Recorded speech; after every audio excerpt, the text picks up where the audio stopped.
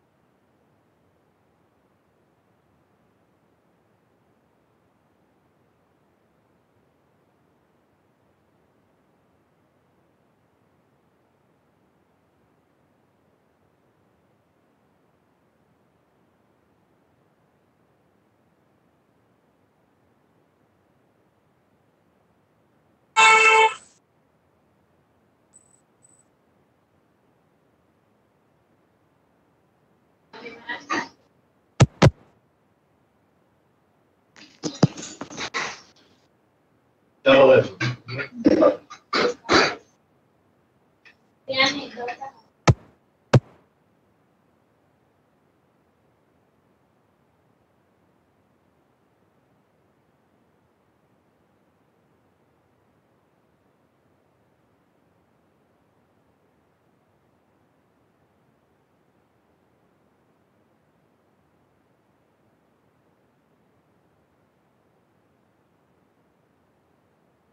Yogish?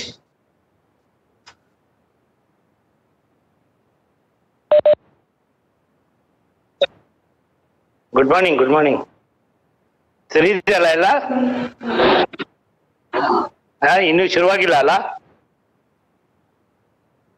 Okay ಹಾ? ಹಾ.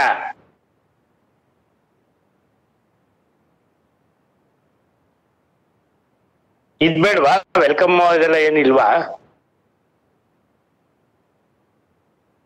Welcome ಏನೋ ಗೋಪಾಲ್ ಕೃಷ್ಣ ನಾನ್ ಮಾಡ್ತೀನಿ ಅಂತ ಹೇಳ್ತಾ ಇದ್ರು.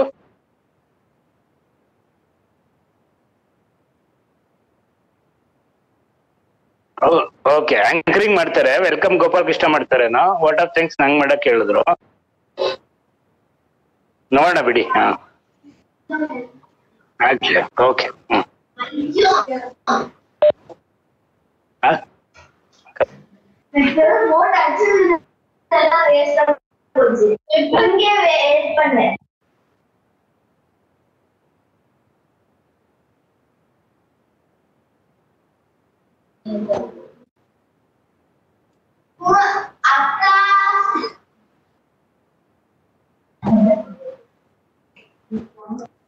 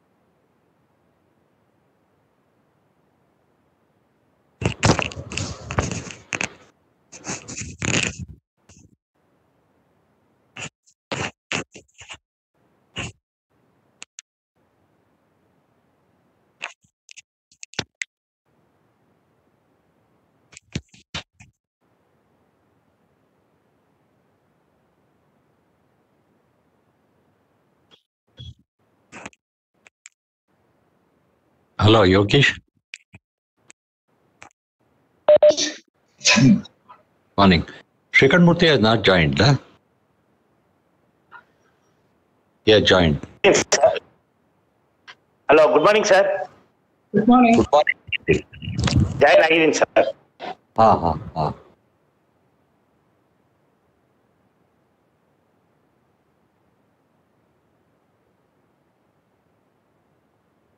Dr. KV Gangadharan sir joined, sir.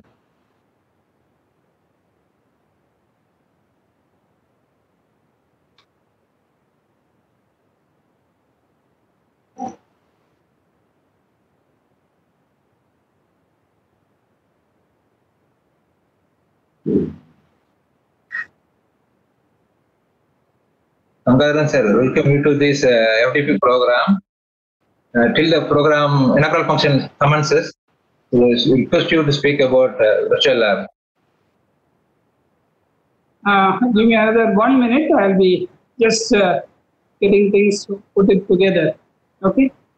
Okay. Arisi, professor. Okay, REC.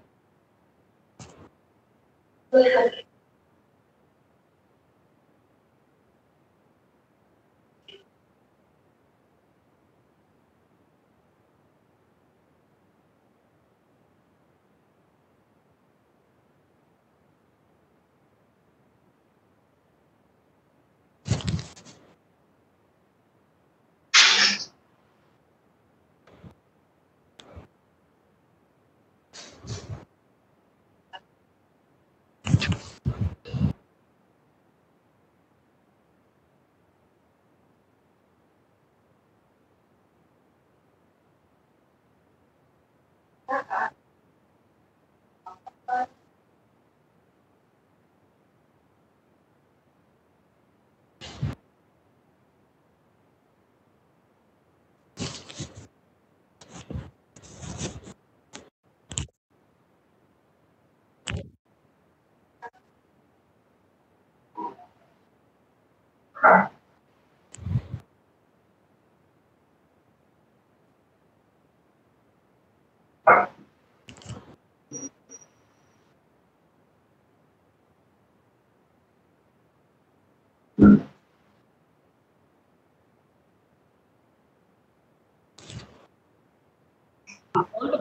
metallurgy department. ಮೇಲೆ. Uh,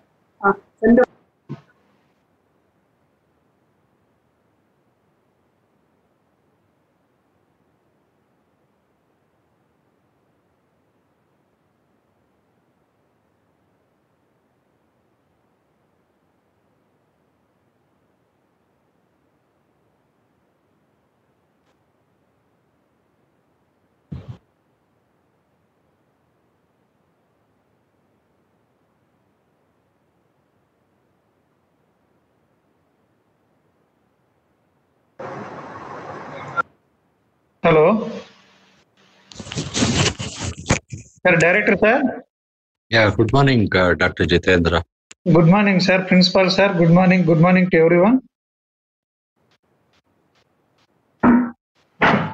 Jitendra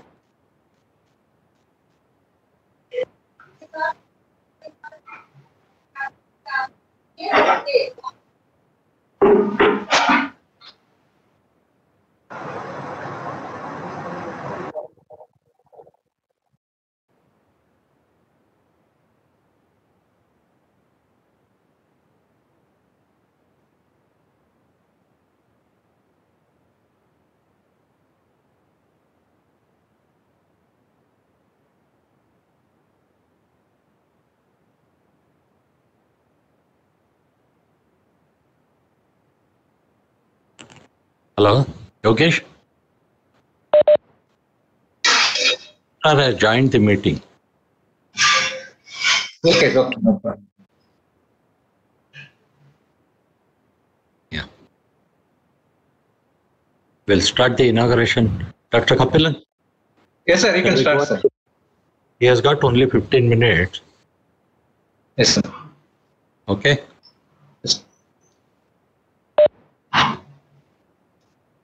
Sir, Director, sir, good morning, sir. Good Morning. Dear participant, the chief guest of today's inaugural function, Dr. Deshpande sir has joined now. Now I request Dr. S.G. Gopalakrishna, Director, NES, to give welcome address. Correct, sir. Hello, Dr. Deshpande.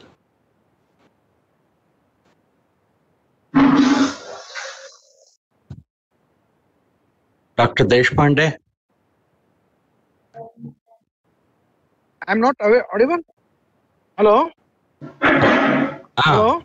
Am good I morning, audible, sir? uh, Good morning, good morning, sir. Good morning, sir. Good morning, sir.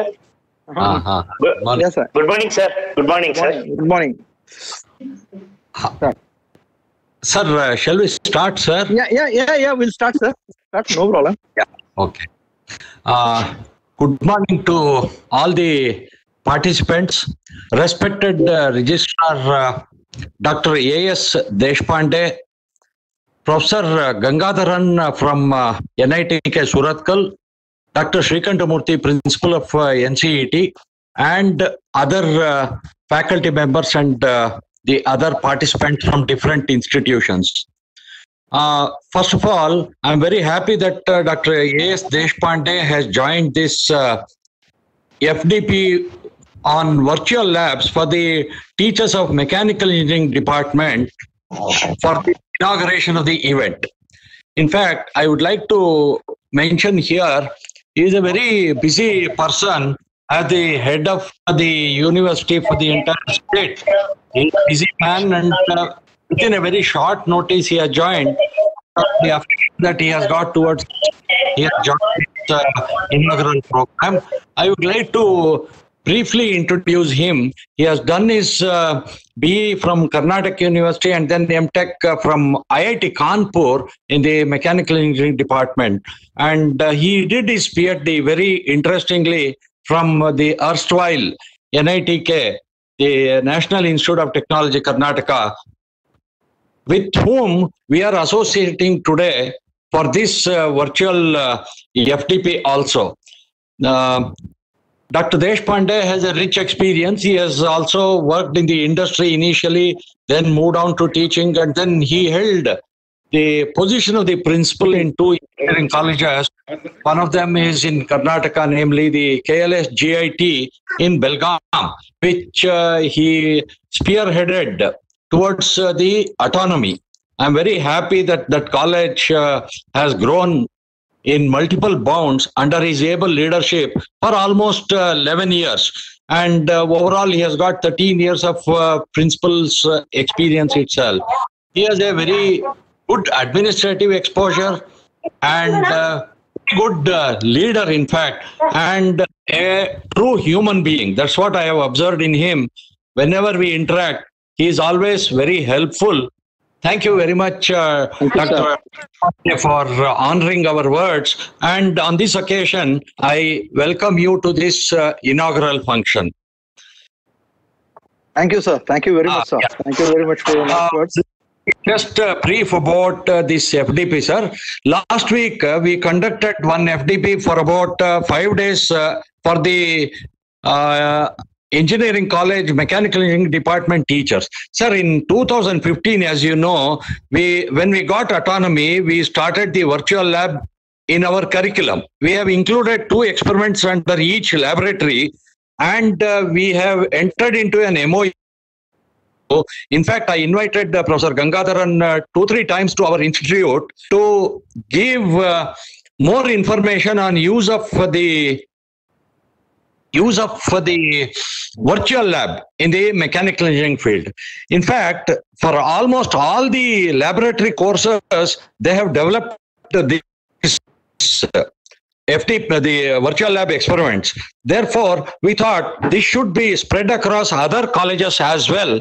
And hence, we have conducted a FDP wherein the faculty members who were participants have given a very good feedback. And therefore, we requested uh, Professor Gangadharan again, can we have one more workshop this week? About uh, 85 participants have registered for this uh, workshop. It will be running from today to Friday. With this introduction, I request you to address the participants, Professor Deshpande. Namaskara, sir. Very good morning. Thank you, Professor Gopal Krishna, for those nice words. Uh, I've been closely associated with uh, Nagarjuna College of Engineering and Technology for past few years. Uh, I was a part of their governing body also for a couple of years. Uh, I always see this institute as uh, an institute which has experimented with the, the newer concepts. Uh, to tell you frankly, I have learned some wonderful uh, ideas which have been implemented in this institute uh, under the able leadership of uh, Professor uh, Gopal Krishna. Uh, yes, uh, the, the topic of this FDP on virtual laboratory, uh, I see uh, it makes uh, uh, an absolute sense to, to offer something more learning to the teachers on this important topic. Of course, NITK Surathkal, Professor Gangadharan, of course, they have been doing a fantastic job.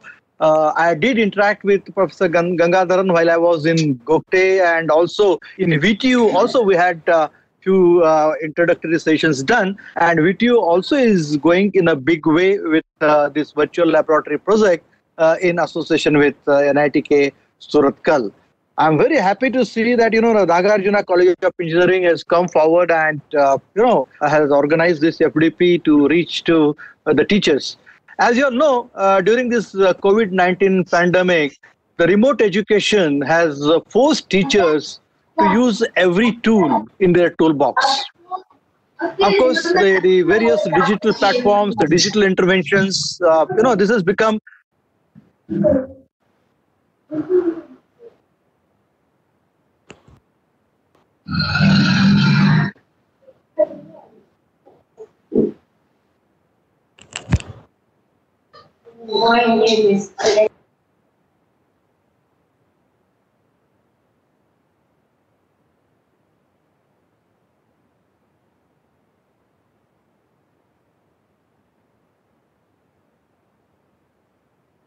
I have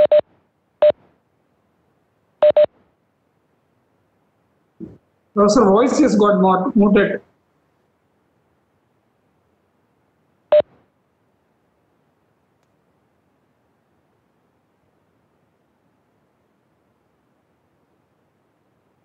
Hello, am I audible? Hello? Hello?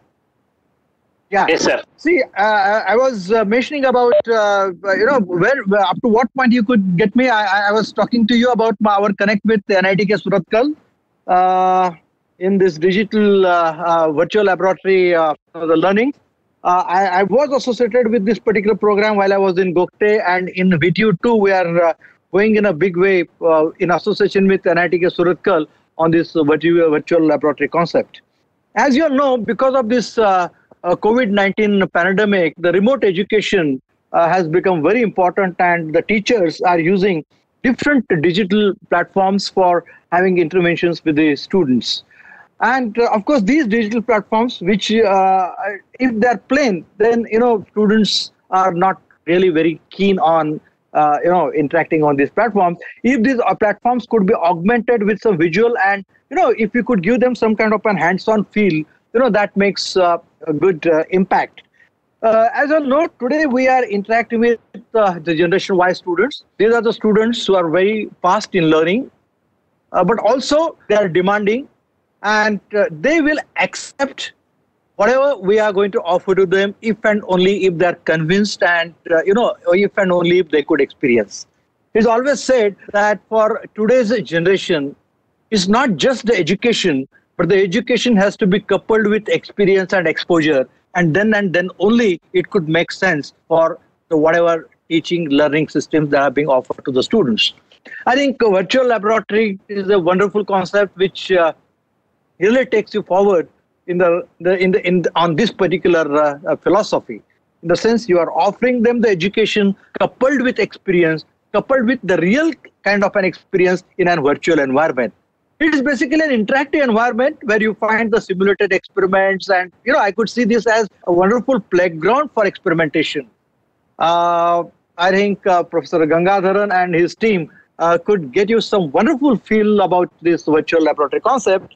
Now, uh, as far as the virtual laboratory for the mechanical engineering uh, domain is concerned, it's more challenging. You know, we know the virtual laboratory or the online learning or the experiential experiential learning for the programming or IT based subjects is something which is been seen for past many many years. But for the mechanical engineering domains, you know, for the subjects which are not primarily with the IT based, the, the workshop, the forging, the manufacturing procedures, etc., etc. You know, offering these, uh, you know, the learning experiences or the lab experiences on the virtual uh, lab platform is a big challenge. But what I could see is that this NITK team, along with a few uh, other uh, institutes of national importance, you know, they have developed few wonderful modules where you get the real feel of the shop floor on the virtual environment in the in, the virtual environment. You know typically the forging typically the the extrusion or for that matter many of these design related exercises you know you can get a wonderful understanding. I think this is something which is going to stay for the years to come. And always it was said at one point of time that because of this all one online platforms and online learnings that are being uh, offered to the students the role of teacher is not going to be that significant in the days to come. But i absolutely don't agree with this. The role of teacher is going to be more important and more challenging. You know as i was mentioning to you that we are dealing with these generation y students the students who are very very demanding the students who have got very less patience if they don't understand in the first go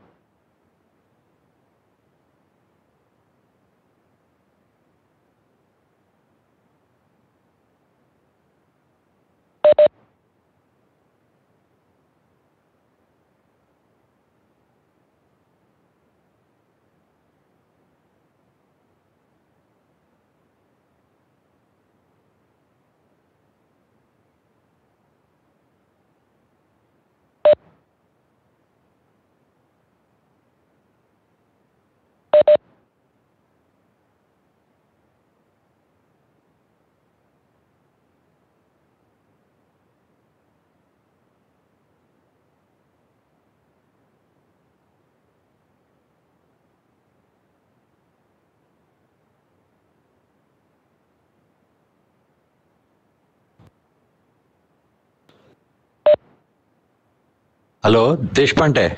Your audio is muted again.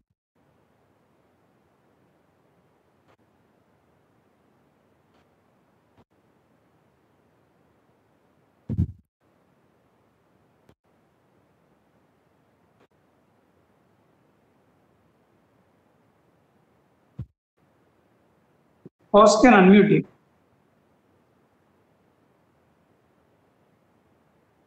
Hello?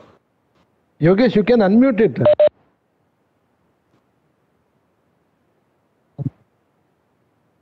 Okay, okay. Uh-huh. uh. Okay, okay.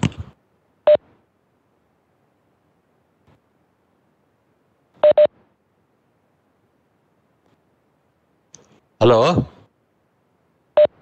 Hello, Deshpande? Sir, you can give a call over the mobile, sir. I'll, I'll do that now. Yeah.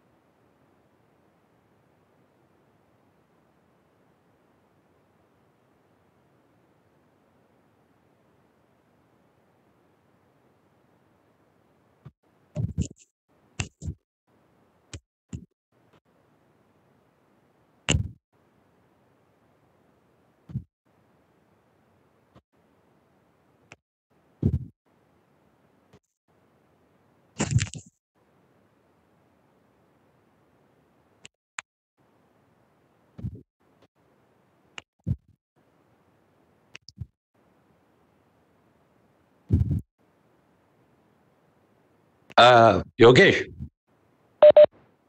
ಅವ್ರಿಗೊಂದು ಇದನ್ನ ಹಾಕಿ message ನಾನು phone ಮಾಡಿದೆ ಎತ್ತಲಿಲ್ಲ M I audible ಅಂತ ಹಾಕಿದ್ದಾರೆ ಅವರು.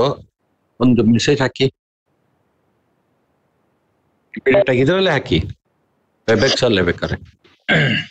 Sir director sir sir is in register is in the closed chamber that is a problem ಹಾ ಹಾ. ಹಾ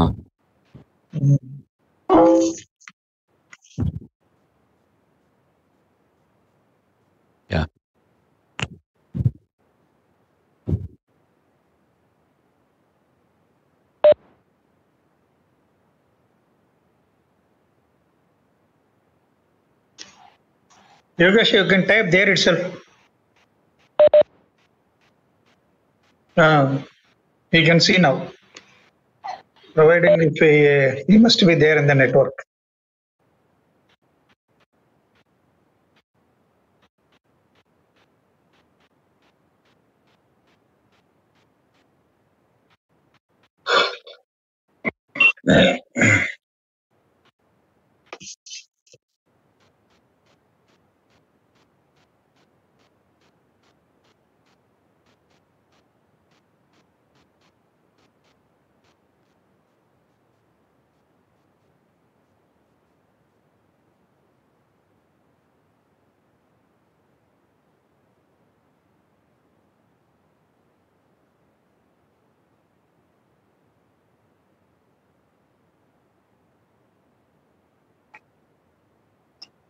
ಹಲೋ ಕೇಳ್ತಾ ಇದೆಯಾ ಯೋಗೇಶ್ ಯೋಗೇಶ್ ಕೇಳ್ತಾ ಇದೆಯಾ ಮಾತಾಡ್ದೆ ಕೇಳಿಸ್ತಾ ಇದೆ ಆಡಿಬಲ್ ಈಗ audible go okay okay okay please please go Yeah, sir yeah. Sorry it will be ಇಲ್ಲ, ಲೈಕ್ ಇಲ್ಲ, ಇಲ್ಲ, ಇಲ್ಲ, ಇಲ್ಲ, ತೊಂದ್ರೆ ಇಲ್ಲ. ಇಲ್ಲ, ಇಲ್ಲ. See, I Yeah. tell you frankly, my personal opinion is that the digital is good, but it is not reliable. it will not work when you really want it. Very please go yeah, yeah, yeah. okay. uh, sir, I was just talking to you about uh, the role of the teacher, and the role Huh. of the teacher is going to be more important in this new uh, teaching learning style where we use these online platforms, the digital platforms, etc., etc.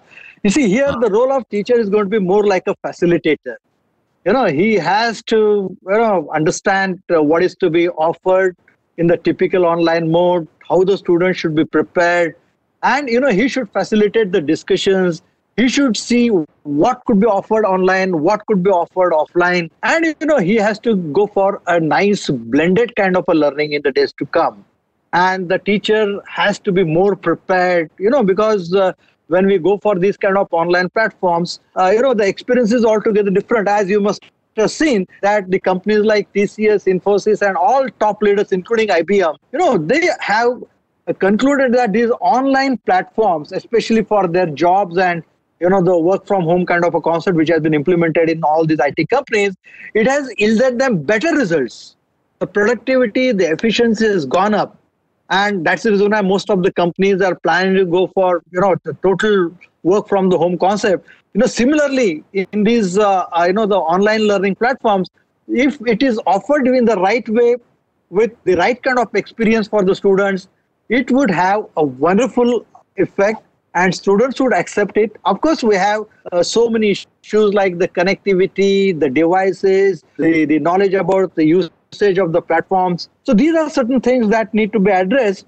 But certainly, this is going to be the, the, the concept of today and tomorrow, which is going to be inevitable. Once again, on my personal behalf and on behalf of the university, I place on record my special thanks and appreciation to Professor Gopal Krishna and his team from Nagarjuna and Professor Gangadhar and his team from NITK Surathkal for organizing this workshop.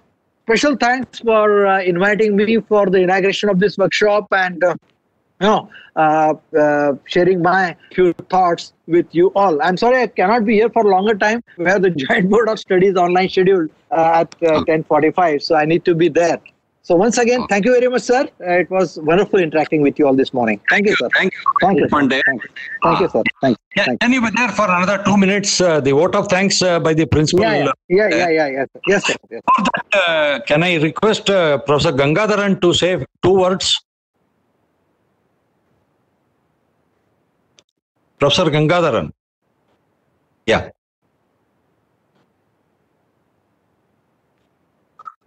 Oh, he is not there, I think. Okay.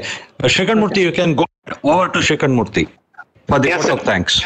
Okay, sir. I am I audible, sir? Yeah, yeah, you are audible, sir. Yeah. Yeah, uh, respected uh, uh, chief guest of the today's function, Dr. A.S. Deshpande, Registrar of uh, Vishweshwara Technological University, uh, resource person Professor Gangadharan, uh, uh, Dr. S.T. Gopalakrishna, Director, my fellow colleagues and my dear participants. Uh, it is my great privilege to propose vote of thanks. We are overwhelmed by the presence of uh, registrar in this inaugural function. His presence has added value to this workshop. In spite of his busy schedule, he accepted our invitation and uh, inaugurated this workshop and also addressed all of us. Uh, on behalf of Nagarjuna College of uh, Engineering and Technology, I extend my heartfelt thanks to you, sir. Sir, thank you very much, sir. Thank you, thank you, sir. Thank you. I thank Professor Gangadharan from Surathkal, uh, NITK Surathkal, for his continuous support and guidance in conducting this workshop. Uh, thank you very much, sir. And I take this opportunity to extend my heartfelt thanks to Director Dr. S.G. Gopalakrishna. And he has taken a lot of initiative in adding these virtual labs in our curriculum and consistently and constantly guiding us uh, towards the success. Um, his guidance are very much valuable for us. Uh, thank you very much, sir. Thank you. Yeah.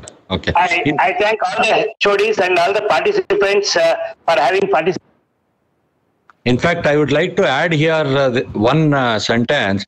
Dr. Deshpande has done wonderful initiatives in his uh, college, GIT especially, uh, with the industry interaction, industry institute interaction, and the application of the technology there. Fantastic uh, achievement uh, they have done. Very wonderful initiatives he has taken. True academician. Uh, we were on different um, committees and things like that, but uh, a true academician and a very human being. Thank you very much. uh, Thank you, sir. Thank you, sir. Thank you, sir. Thank you very much. Thank you Thank you, much, sir. Prof- Professor Srikant Murthy. Thank you very much. Oh, thank you, sir. Yeah, thank you. Thank you very much, sir. Thank, Thank you. Thank Okay, sir. thank you. Thank you, sir. Okay.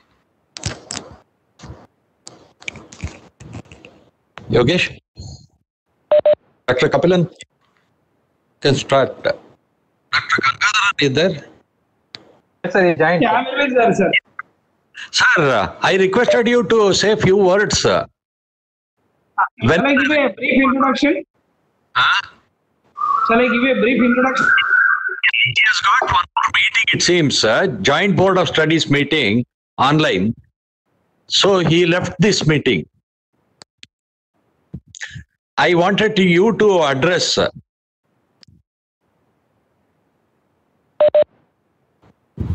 Hello? Am I audible? Yes, sir. Okay, okay, okay. Professor Gangadharan. No. Uh, Professor Gangadharan has to start now, no? Yes, sir, yes, yes, sir. Yes, sir. Yes, sir. Come, sir. Yes, come. Or to, or to Gangadharan.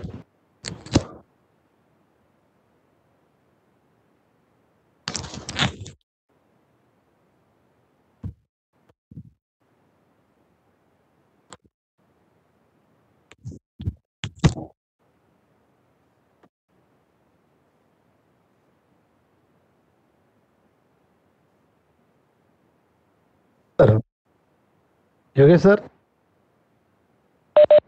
Uh, Deshpande sir ಅದೇ ಇದ್ರು just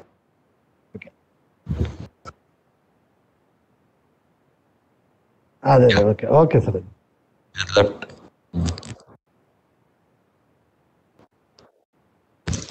Okay, go ahead now. What is the activity, Kapilan? Sir, uh, Gangar sir will address the gathering. Sir, after that, uh, first session commences. Okay. He's joining service network, uh, maybe problem. He joined. joined. Uh-huh. His voice also is not audible. But uh, registers, uh,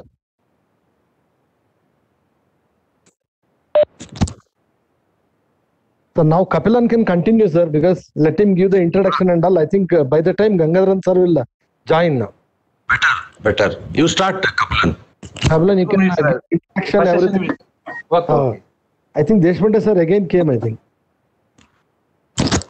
Is it? Uh,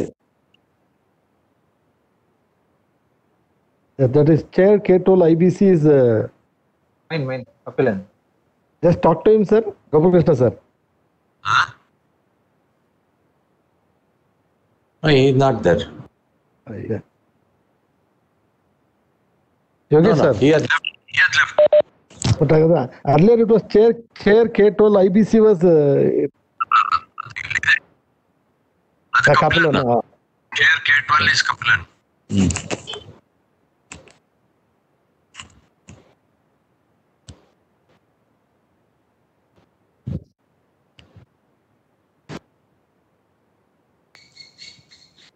In Mangalore, it's raining, sir. That's why he's having a network problem.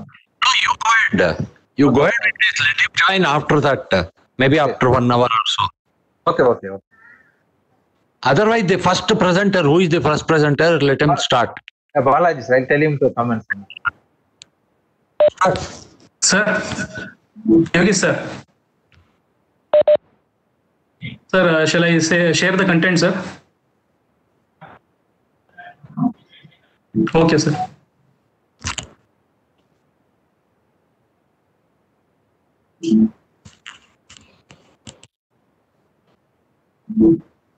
Ah, Dr. Gangadharan has joined, I think, now. He's trying to speak.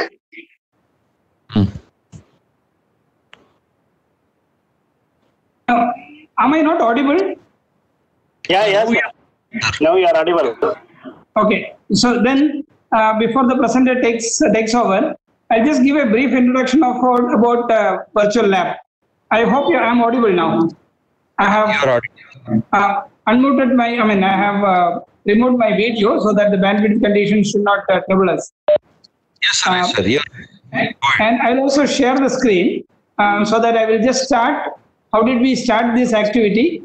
Uh, so that the participants can get uh, a just glimpse of how it was all started. I'm just uh, trying to share my screen.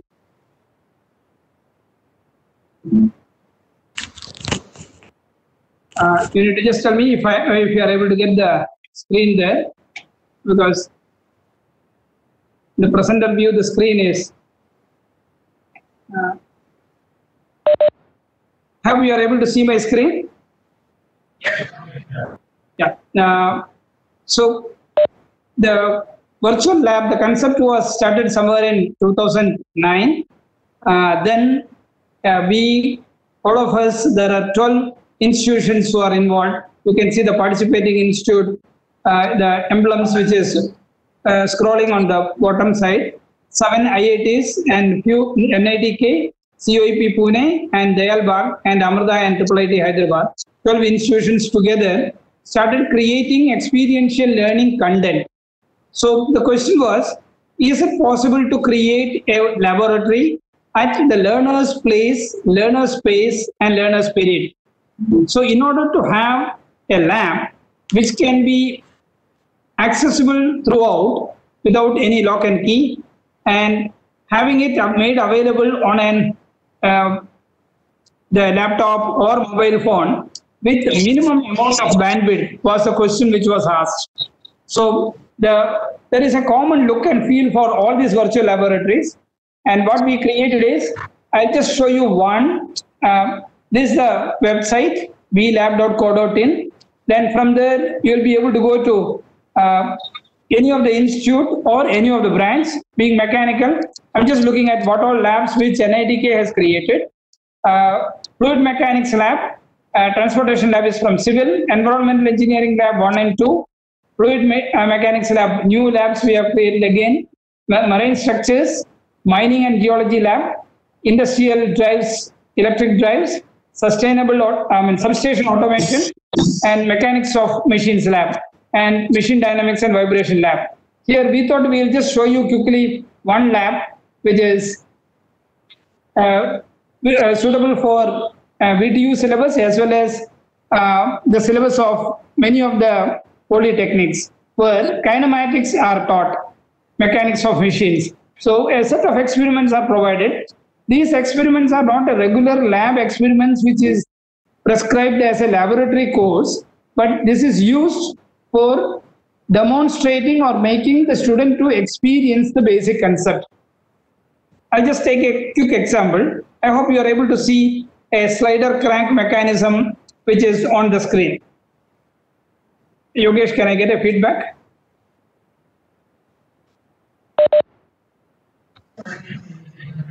Yeah, okay. And uh, because sometimes the screen also may not come properly, so that's why I'm looking for a feedback. So when uh, uh, just one moment, I have a registered pause. I need to. I'm in the office. I'm sorry.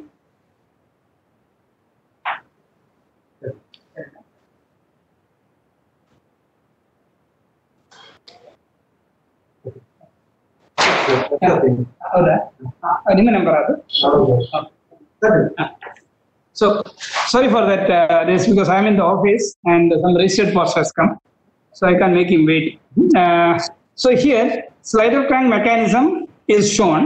Uh, suppose we want to demonstrate what happens if the length radius changes, the crank radius. I'm sure all of you are mechanical engineers. So when I change the crank radius, what happens?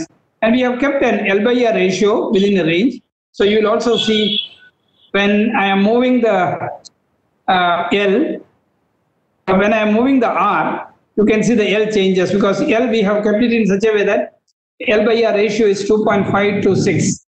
Uh, that's how it is considered. So you can also stop this and start showing the students at what angle, what will be the distance, etc. Okay. This is called position analysis. When it comes to velocity analysis, that is the second screen I am showing. Here again, I, I should be able to change the radius, L, etc. And I can get the velocity. You can see the velocity, how it is changing. And assume that I can even stop this at a point and start looking at, at different angles. What happens to the diagram? And it's very difficult to draw this way on a normal blackboard or even in a PPT. So this is a math, small math engine works behind so that you should be able to change any parameter as you wish. So from here we can go to the next mode, uh, which is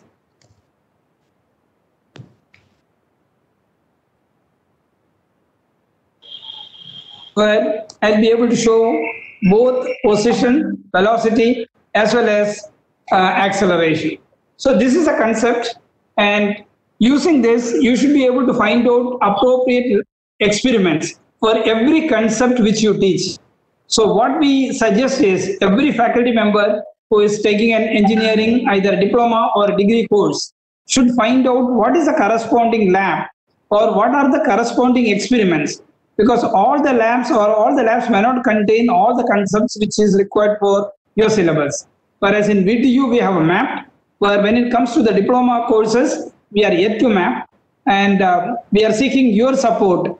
If you need a specific area where you feel the concept need to be explained using a virtual lab, uh, please get in touch with us. We should be able to help you and create such laboratory for you. So with this brief introduction, this is an experiential learning concept or experiential learning content wherein the entire theory, procedure, laboratory simulation, and quizzes are put in a simple learning management system so that a learner need to look at only one place and get the things moving. So it can be for a student to just get used to the laboratory or to understand a concept or a teacher to explain the concept better or a job seeker trying to see whether his basics can be improved quickly by looking at few of these experiments. And as a later part, we also like each one of you to develop few experiments so that you can claim your, your own experiments on a virtual lab. With this brief introduction, um, I thank the organizers, Nagarjuna Engineering College, have been very active in virtual lab and they are one of our strong nodal center uh, mechanical engineering head of the department who was also a research scholar at NITK uh, have been pushing virtual lab for mechanical engineering quite well. And this is the second I'm attending in the inaugural session. And my team will connect you uh, with each of the lab wherever we need to get in. And we also would like Nagarjuna Engineering College faculty members to take the lab so that they get the confidence and so also they will explore all the lab and experiments quite well. With that, NITK uh, virtual lab team thank uh, the entire participants as well as the organizers, including administration and the people behind this program. Thank you, thank you everyone. And I'm just stop sharing the screen and back to the organizers or the hosts. Thank you, Dr. K.V. Gangadharan sir, for your support and encouragement to do this type of activity. And uh, we will discuss with the Diploma Polytechnic College faculty members and see the syllabus. And if they need any support from NITK, we will share it with you. Thank you. Here, participant will start the first session on uh, of material. This session will be handled by Balaji, and he's having 15 years of experience in this uh, subject. Now, I request Mr. Balaji to start the session.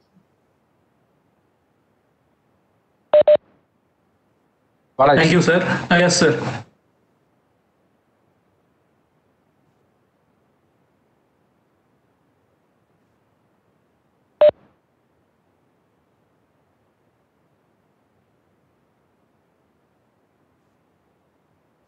Sir, uh, screen is visible, right, sir? I? Yeah, sir. Okay. Thank you, sir.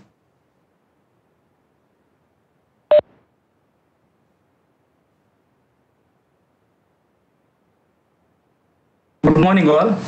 I welcome you all to the session on uh, virtual lab in strength of materials.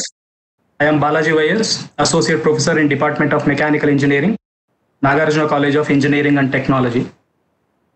Firstly, before uh, going to the, the topic that is strength of materials, I would like to give the brief introduction about what is a virtual lab and what are the salient features of this virtual lab.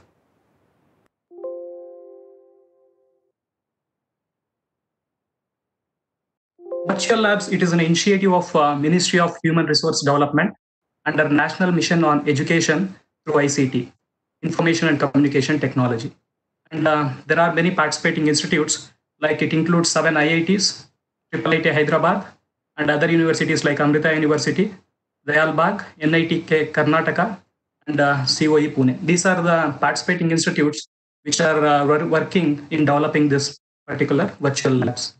Next, introduction to the virtual labs. What is virtual? Everyone knows virtual means which is not real. Okay, that is not physically existing as such, but made by software to appear to do so. What is virtual laboratory? It is an interactive environment for creating and conducting simulated experiments. And it is also uh, more familiarly, it is called a playground for uh, experimentation. Why it is called playground for experimentation? It is very simple. There is a freedom to make mistakes. Okay, that is why it is called a playground for experimentation. And there is a famous famous saying: "We hear and forget, we see and remember, we do and understand." And uh, this uh, famous quote, what from the famous quote, we understand that we should always encourage the students to do the things rather than just hearing or seeing. Okay, when we, when the uh, when the student involves in uh, doing the things, then only he will understand the concept in a better way. Because doing the things and saying the things saying saying and doing will come and come into an uh, active learning whereas just seeing and hearing will uh, come into an uh, passive learning. Therefore uh, we should encourage the students to understand the things by active learning. And see uh, to emphasize that i have i have taken one uh, research article where edgar dale is the source of this particular thing that is the cone of learning. We can see here the reading reading hearing words seeing watching a movie, looking at an exhibit, watching a demonstration, seeing it done on location, all these things, all these things of the pyramid will come under a passive learning. Passive learning because here only two things are involved. One is seeing and hearing. Okay, when when we talk about this one, participating in a discussion, giving a talk, doing in a dramatic presentation, and simulating the real experience, doing the real thing. These two things, uh, all these things comes under the active learning and why uh, why this cone of learning is important? See here after two weeks we tend to remember only 10% of what we read 20% of what we hear and thus 30% of what we see and 50% of what we see and hear. That means when we are involving in just passive learning our retention ratios will be up to 50% that means after two weeks if you have read if you have if you have read some particular content you there is a probability of just retaining those content is is of about 50% okay if you are involved in doing the things and saying the things then the retention ratios will range up to 90% therefore we should always encourage the students to actively involve in the discussions or uh, uh, we should encourage them to give a talk on the topic or we should simulate the real experience and do the real things. This is what uh, the uh, importance of uh, the virtual labs next uh, there are different types of virtual labs. The three different types of virtual labs is the first one is modeling or simulation based lab and next one is a measurement based labs are there and remote triggered labs are there. When it comes to the reality okay the remote triggered uh, labs are very much closer to the reality whereas modeling or simulation based labs are highly scalable. Okay remote triggered is closer to the reality. The reason is there is an actual equipment which is present in the participating institutes and you are uh, remotely you are triggering or you are operating that equipment to get the results through the computer interface. That is what is remote triggered labs. After the uh, this presentation i'll just give you an, a glimpse of this remote triggered lab. Okay but for time being you have to remember that a remote triggered lab is an actual laboratory which is situated in the uh, participating institute. You as that is a user will access that remote uh, lab remotely by with the help of an internet and he will get the results of that particular exper- experiment through uh, you will get the results of that experiment through the computer interface. Okay this is what is called as a remote triggered uh, lab. Whereas measurement based labs when we talk about measure please i request uh, the participants to mute the audio. Sir is it audible sir what i am speaking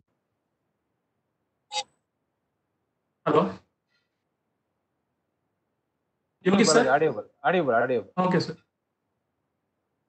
When we talk about uh, measurement based labs, here uh, actually the experiments will be conducted and uh, the results of that actual experiments were will be fed into these particular virtual lab setups. Such that when you conduct an experiment virtually the results what you are going to obtain it is the real results which were which were obtained by conducting the experiment which uh, really. Okay, like I, whereas uh, modeling or simulation based experiments or uh, labs are there. This modeling or simulation based labs um, here the physical uh, uh, phenom- physical phenomena is uh, modeled using a mathematical equations. Sir, some Udayam, please uh, mute the audio.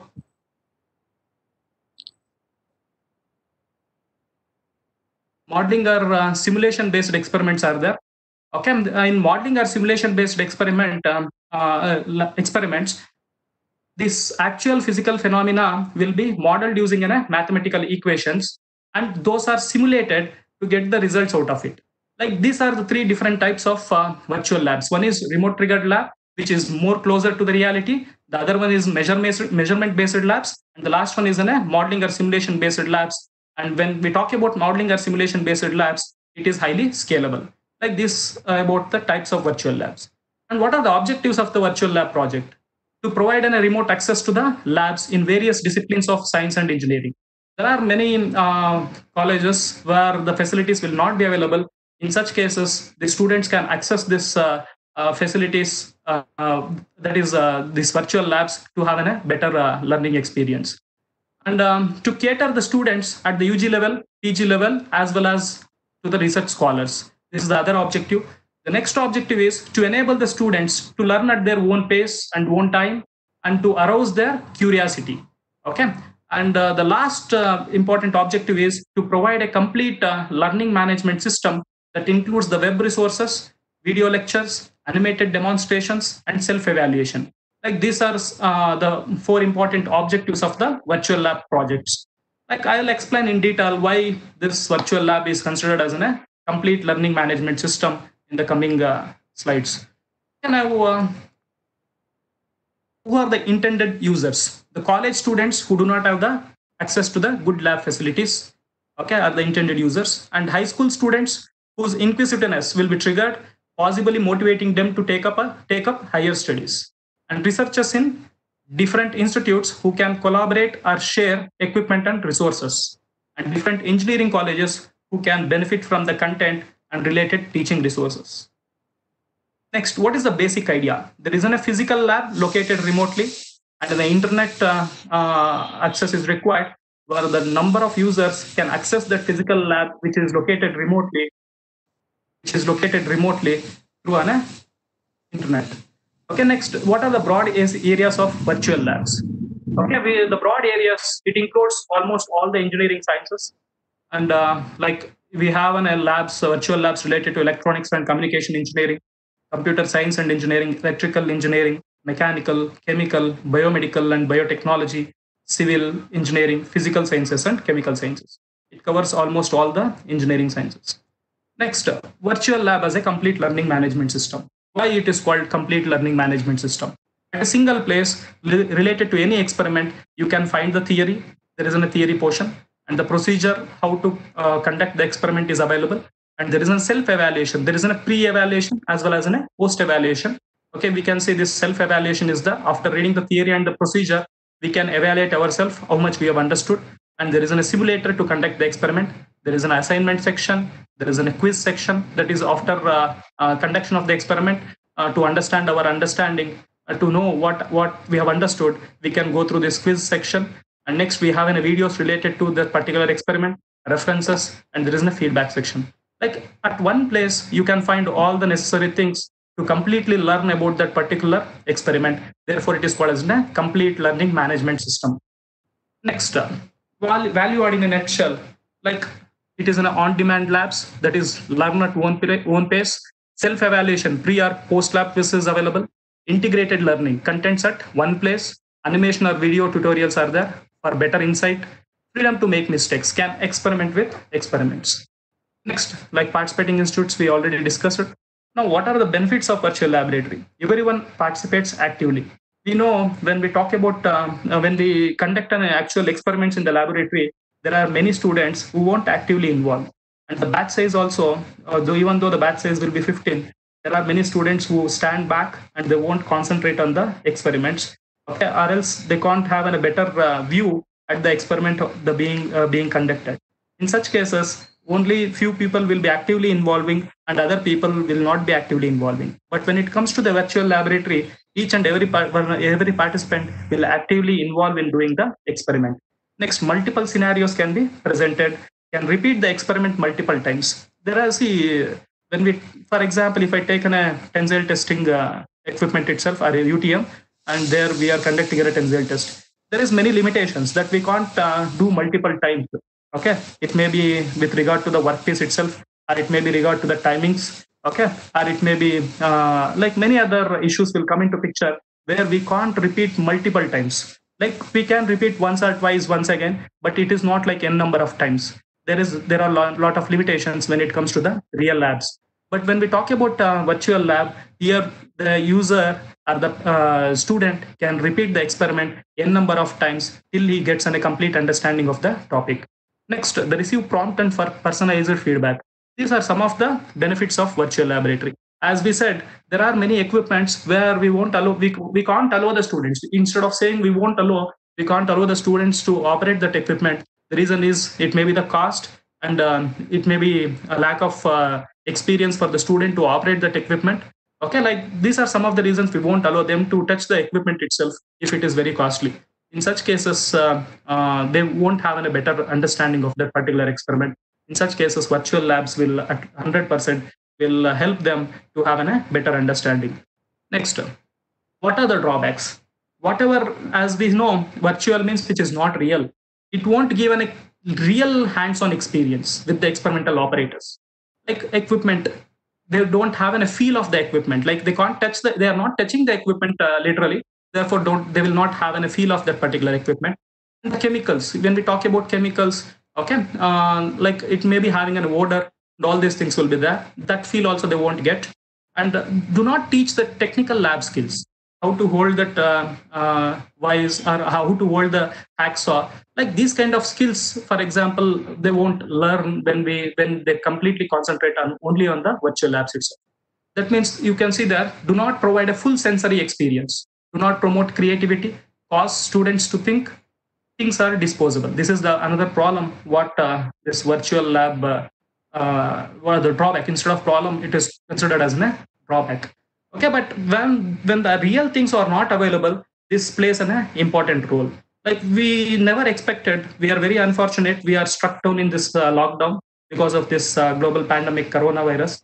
Okay and at this particular point of time 100% this makes a lot of sense. Like uh, the students will have a better experience of uh, this laboratories through this virtual lab okay? Because they don't have an access to the real laboratories. At least they can have an, a better uh, they have an access to the virtual labs where they can have an, a better understanding of the topics. Next all the labs can be reached through the following sites like vlabs.ac.in is there or vlab.co.in these are the sites to access all the labs like the complete uh, the broad areas of virtual lab which includes entire engineering sciences can be accessed through these two websites Next, uh, the list of now I'll come to the actual topic that is uh, the first session, which we are discussing about the strength of materials lab. Okay, like um, what is strength of materials? It is the behavior of the solid bodies which are subjected to the stresses and strains. It is the behavior of the body under the application of forces. Okay, like in the strength of materials lab, or mechanics of materials, both are one and the same. Okay, and uh, in the strength of materials lab we are going to discuss about these uh, these many labs are available in the virtual laboratory.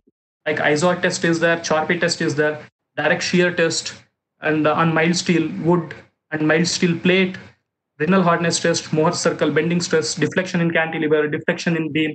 Like these are some of the experiments which are available in strength of materials lab in virtual laboratory.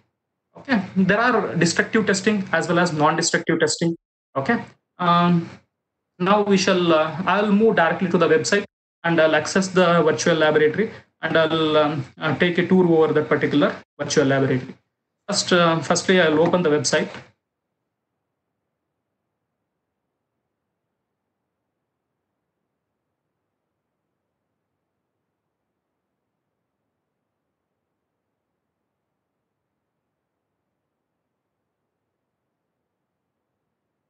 like uh, vlab.co.in is the uh, website address through which uh, I will log in.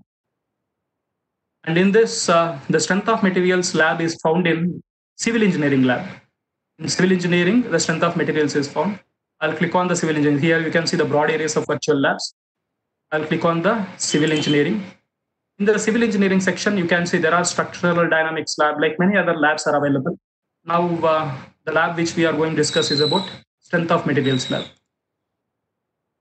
When I click on the strength of materials lab, you can see the introduction to the strength of material is available here. Okay, and the list of experiments is available here. As we know, strength of materials is, is the study of behavior of the solid objects under the application of stresses and strains. Or it is the behavior of a body under an application of forces. Like say you can, these, these many experiments are available in the strength of materials, list of experiments, Izod, Charpy direct shear, and mild steel rod. Like these are number of experiments which are available in the strength of materials lab. And you can see when you click on uh, the strength of materials lab, there is an introduction, list of experiments, target audience, course aligned, prerequisites, feedback, everything, all, all at one place is available. Like what is the what is the prerequisites to understand these particular laboratories? Everything is available here. Now I'll go to the one uh, experiment that is Izod impact test. I will click on. If I click on the Izod impact test, again you can see there is a theory here. Impact test. Why we conduct the impact test to measure the toughness of an material. Okay, to measure the toughness of the material, we'll uh, conduct an impact test. And the theory related to that particular impact test, like um, uh, in case of a ductile material, how the stress concentration increases. I'm not going in detail about the uh, theory part because uh, here our emphasis is um, uh, to facilitate you people uh, to explore the virtual labs which are provided, which are available to help the students to go through these particular labs for the better understanding. And therefore, I'm not concentrating too, too much about the theory. I just want to show you or help you to explore the complete virtual labs which are present in the strength of materials. Like uh, what is uh, toughness means it is the ability of the material to absorb the energy uh, before the fracture before the failure. It is the total amount of energy that is been absorbed before the failure. Okay, like this impact test is conducted to measure the toughness of the material and how this notches which is present will affect in case of a ductile material as well as in a brittle, brittle material. All this theory will be given here. Okay, and uh, you see in the theory itself, you can observe how this uh, specimen has to be positioned. Okay, and um, you can also see the dimensions of the test specimen, how the specimens has to be prepared according to the Indian standards. Okay, you can see here the notch uh, depth is 2 mm and uh, the notch is placed at a distance of 28 mm from one, one end and the total length of the specimen is 75 mm and it is in a square section of 10 cross 10 okay? And all dimensions are in mm and notch angle is 45 degree included angle. Like all the information related to this is in a square test piece and this is in a uh, round test piece. Like all the information is available in the theory part. Okay and the student has to go through this theory. Uh, once he goes goes through the theory the next step is he has to go through the procedure. What is the procedure involved? Okay to access this particular lab or how to conduct this particular simulator uh, IZOD impact test. Okay for that he has given the procedure. The steps you can observe clearly here how uh, the step after the step will proceed but i am not going to concentrate on the steps because directly i'll conduct the experiment so that you will understand what are the steps involved in it. Before going to this uh, uh, procedure there is a self evaluation we have to evaluate uh, ourselves uh, what is the what what we have understood from reading the theory of this particular IZOD impact test. For example you see uh, any salient features you remember here. Okay like uh, you know the impact test is conducted to measure the toughness of the material next um, you can observe how the uh, specimen is uh, positioned here. The specimen is positioned in the form of an, a vertical cantilever that you can observe. And you can see the notch. Notch is facing towards the hammer okay? Angle of tip of striker okay? Notch is, notch is v notch is there and this notch is facing towards the hammer. This is another point you can observe here. Next you can see uh, the notch depth is 2 mm that you can observe the length of the specimen is 75 mm. That also you can observe. Next it is in a square section of 10 cross 10 that you can observe. Like you have to go through this theory and included angle is 45 degree.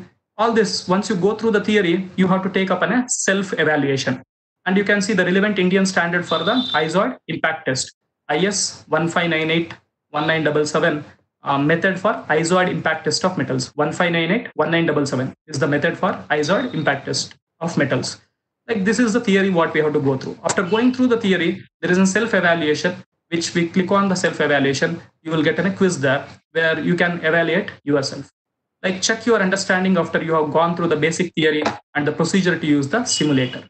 Now i'll go with the self evaluation and if any participants if you wish you can answer the question. Okay? You see in the IZOD impact test the angle at which the pendulum is placed from the ground is dash degrees anyone instead of uh, the one way one way traffic i want if participants are uh, interested in answering the question i'll just click with the same answer what you are giving and we shall check the answers. Any participant is wish to give the answer? How much sir? 90 degree. 90 degree. Uh, i'll click on 90 degree and we can check the answer. And it is a right answer. Right answer. Next i'll move on to the next question you can see here the toughness value of a material A and the material B are 60 joule and 5 joule respectively. He has given the toughness values of material A as well as material B. Material A has a higher toughness 60 joule, material B has a lower toughness that is 5 joule respectively. Which of the following statements is more suitable? Material B is more ductile than material A and material A is more tougher than the material B. Material B is more brittle than the material A and material A is harder than the material B. Material B is more brittle than material A. Material B is more brittle than material A. Some participant has given any other answer?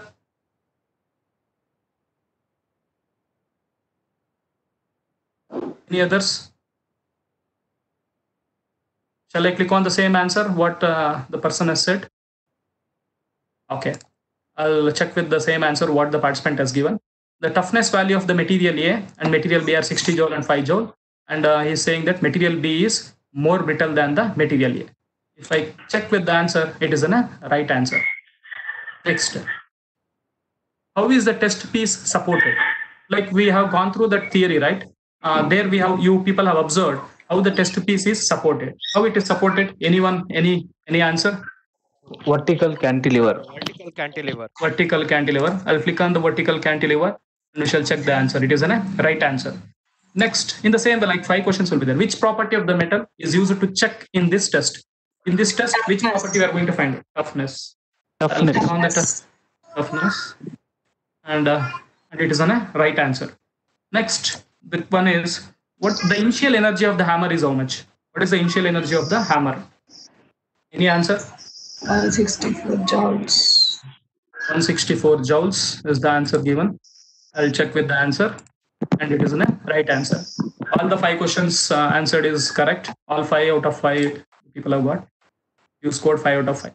Like this is how you can test. Uh, uh, you can you can self evaluate. We can self evaluate. After self evaluation, we have a simulator to conduct the experiment. See in the simulator part, you can step by step procedure here also it is given if you read you will understand the first step is the objective of this experiment is to find the impact resistance of the mild steel and cast iron. Okay you see here there is an uh, arrow mark uh, uh, greater symbol uh, what you can see. Okay you click on the greater symbol here. If i click on that see the first step is first step is kindly mute the audio sir. Other participants please kindly mute the audio request the participants to kindly mute the audio.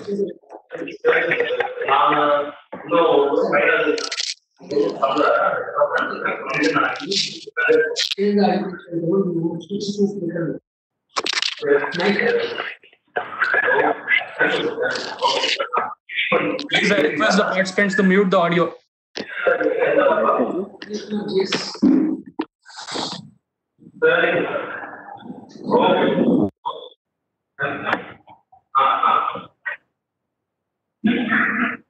Girish Kumar, please mute the audio.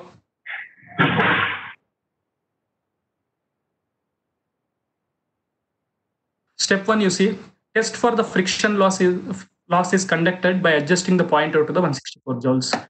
Then pendulum is released by operating the lever without keeping the specimen.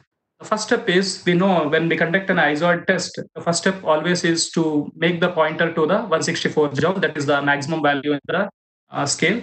And um, without keeping the specimen, we have to allow the pendulum to fall freely to measure the loss of energy due to friction. Now see the pointer is moved to the maximum uh, value that is 164 joules and this is the lever which I have to release such that the pendulum falls freely. Okay, uh, and the one is not placed. Okay, click on the lever. If I click on the lever, you can observe how the pendulum has fallen freely. And once it has fallen freely, you, it measures the loss of energy due to friction is 2 joules. Okay, once this step is completed, again you will find a greater symbol uh, here and you click on this symbol. Okay, it will go to the next step. The step 2 is what? Select the Izod test specimen. You have to conduct the test for cast iron or mild steel that you have to decide. Okay, for example, I'll take the mild steel. For the mild steel, I'll conduct the Izod test. If I click on the mild steel, the specimen, what you are seeing, the dimensions of the dimensions of the specimen will be measured and it will be displayed here. You see the length is 76.6, the breadth is 9.42, depth is 9.4, and depth of the notch is 4 mm. Okay, with this, uh, this is the data of that particular specimen what we have selected. And this lab, what you are conducting, what we are conducting, it is in a measurement-based lab. That means here, whatever the values you are going to get, uh, these values are the result of the actual experiment which is conducted in the laboratory. They will conduct an experiment in the laboratory in a real sense, and whatever the values that they have got, that will be fed into this particular uh, uh, experimental data. Okay, like this. Once this is done, I have to move to the next step. That is the selection of the specimen is completed. And after that, you observe here what we are doing. How to place the specimen is shown here. Okay, we are placing the specimen. The Izod test specimen as per the standards IS 3766 1977 is placed in the position. Like this, we have to place the position. How we are placing in a vertical cantilever form, and the notch has to be placing towards the striker. Okay, like this, we have to place the specimen. After placing the specimen, you see the next step is again we have to move the pointer to the maximum level, and we have to leave the uh, we have to release the pendulum by uh, clicking on the lever. Once I click on the lever, you can see here the specimen how it is placed. This is the uh, this is a zoomed view of this particular place. Okay, if I leave the lever, if I release the pendulum, you see how it has broken. The specimen has broken here. Okay, the specimen has broken, and the total loss of energy due to transit of hammer is 54 joules. Therefore, the energy for the failure of the specimen is 52 joules. Because loss of energy due to friction was 2 joules, and the energy uh, loss due to the transit of the hammer is 54 joules with the specimen. Therefore, the final energy for the failure of the specimen is 52 joules. Like this, this is the first trial what we have conducted.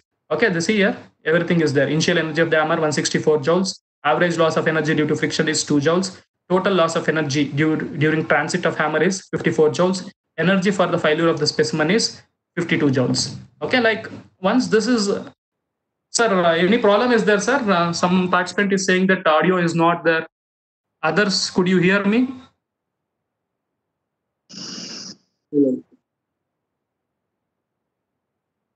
Could you hear me, sir?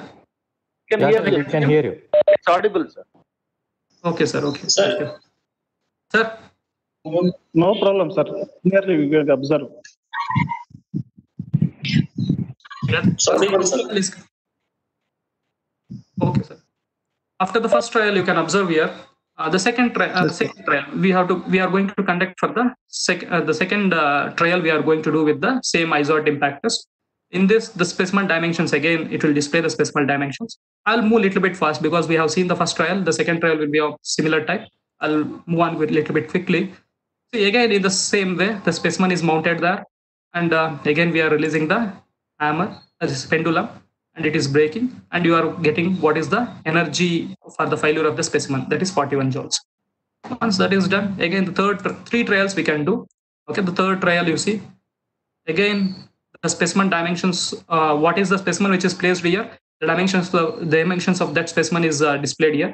After that, if you click on, again the specimen is mounted uh, in the vertical uh, cantilever form, and again we are going to release the pendulum. As we release the pendulum, okay, it breaks, and energy uh, for the failure of the specimen is displayed here. That is 39 joule. You can see here 39 joule. Like all the three trials we have done, okay, and uh, the results of all the three trials you can observe here. Loss of energy due to friction is 2 joules, 2 joules here it is 4. four. The total uh, energy for the failure of the specimen is given as 52, 41 and 39. Average energy for the failure of the specimen is 44 joules. Okay, like this, this is how uh, the Izod impact test will be conducted in virtual uh, environment or virtually. Okay, like uh, see uh, why this plays an important thing is we have seen the students. There are many students when examination comes. That is on the first day the lab uh, experiment will be done, and uh, they won't go through or they won't see the lab once again, or the experiment once again. Directly they will come to the examination. During the examination, they don't remember how the specimen has to be placed or uh, how uh, how uh, in what is the procedure that has to be followed to conduct the experiment also. But when because of this virtual lab, one day before the examination also, he can go through the steps or uh, steps involved in carrying out the experiment. Therefore, he will have a better understanding and he can uh, do the lab experiments in much better way when compared to the other cases. Like virtual lab really helps the students to have a better understanding. Okay. Now, what I'll do, uh, the simulator, that is how to conduct the simulated uh, experiment. We have uh, we have seen. Now there is an assignment. Here only the assignment part is there. You can see the assignment there you can see all the questions which are available. Uh, we can ask the students to go through this uh, or uh, submit the assignment for the same questions also. Okay, next there is a quiz part. Again, there is a quiz. One was the pre-quiz or the self-evaluation. The other one is the post quiz. That is to check the ability to answer some of the questions relevant to the simulation that you used. We have done a simulation experiment related to that. there will be some questions we have to answer that. Now see, which kind of notch is used in the test piece in an Izod impact test? Any answers, sir? V notch. V notch. V notch. Okay, sir. V notch. We shall check with the answer, and it is a right answer. Next, the test piece is placed in such a way that the notch is facing up away from striking edge, down towards the striking edge. The striking what is the striking answer, sir? Towards the striking the edge. striking Towards the striking edge. And it is a right answer. Next, notches are used to to minimize plastic deformation, all the above as a stress concentration region, easy breakage. Any answers, sir? Why All notches are used in case of an As a stress stress concentration region. any other answers? All the as a above. stress concentration region, All the above. Okay. I'll check with the uh, answer. Many are telling as a stress concentration region. I will we shall cross check with that. Okay. If I check the answer, the answer is what? All the above. and it is in a wrong answer. Okay, all the above is the right answer.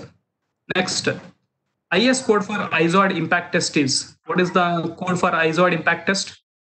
1598 1977. Okay, sir. I will click on that. We shall check the answer. It is in the right answer. Next, the last question here is the Izod test specimen. The angle of V 45 naught section degree. is 45 degree. 45 degree. Click on that. We shall check the answer. It is the right answer. Like this, we can conduct an experiment and uh, we can self-evaluate ourselves before the experiment and after the experiment also. Assignment is there, quiz is there, videos related to that will be available. Here for this experiment, there is no videos.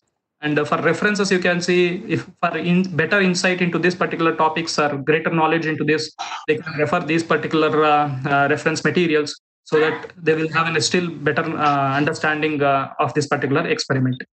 Like this is about the impact test. Now I'll move on to the some other experiment. I won't go to the CHARPY test. We shall see that at the end. See, like what we'll do is I'll I'll cover three or four experiments now. In the afternoon session, there is a hands-on session, right? During that time, you have to explore all the lab uh, experiments which are available in the strength of materials. After two days, there will be a quiz for you people through Google Forms. We'll conduct it, during which uh, you have to answer all the questions related to these particular experiments. Now, I'm, I'm, I will cover another two experiments. That's all. After that, the remaining ex- experiments you have to go through during the afternoon session, that is hands-on session on your own, and you have to explore everything. And once you explore all these things, there will be a quiz related to this uh, according to your schedule. Okay. Now I'll move to the next experiment. In the list of experiment section, I'll go to the Brinell hardness test. Okay. Brinell hardness test. In this again, there is a theory. Everyone knows what is hardness is. Is the ability of the material to resist the indentation, scratches, or uh, scratches, or uh, indentation or scratches. Okay. Next, um, you can see the parts of this uh, Brinell test, uh, Brinell testing equipment also, and uh, all the details related to the experiment will be available in the theory part. And the formula to find out the Brinell hardness number is also available 2 pi by pi d into d minus root of d square minus d square. Where p is the load in kg, d is the diameter of the ball, small d is the diameter of the indentation in mm. The constant value g is acceleration due to f, f is the force in Newton. All the details are available. Okay, and the standard is 1500 2005 uh, method for Brinell hardness test for metallic materials. Like you can go through all the theory part which is available here. Once after going through the theory part, you can see everything is available here. See the indenter used is a hardened steel ball which will have a diameter of 10 mm, 5 mm, or 2.5 mm. That means in Brinell hardness test we use the indenters indenter which is of hardened steel ball which will have a diameter of 10 mm, 5 mm, 2.5 mm. The reading microscope has 25 fold magnification. The gap between successive graduations of the scale is 0.5 mm and the micrometer is arranged sideways. All the information related to this experiment will be available. You should have you should patiently go through all the theory. Then you have to go for a self-evaluation. I, I'm not going through the procedure. The reason is when we start the experiment at that time only we will understand what is the procedure involved instead of that uh, uh, wasting for that sake uh, no need of wasting the time in going through the procedure. Directly i'll go to the experiment. Now i'll uh, I'll, I'll consider that everyone knows the theory and i'll uh, start with the self evaluation and uh, in the self evaluation you can observe the brinell hardness test the diameter of the ball used to test copper specimen is. What is the diameter of the ball used to test the copper specimen? It is in a uh, non-ferrous material which will be more uh, softer in compared to the ferrous materials 5 mm is the answer uh, the participant is giving. I'll check with the 5 mm. And it is in a right answer. So the next question is select the correct correct statement from the following. Okay.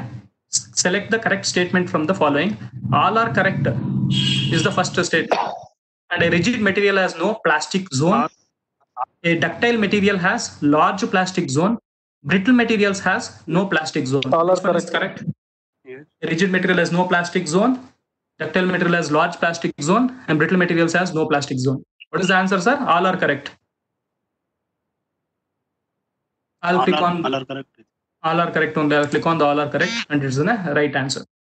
Next, the ratio of test load to the surface of indentation in this test is indentation. The ratio of test load to the to surface area of indentation in this test is indentation number, shear strength of the material, none of these, Brinell hardness number.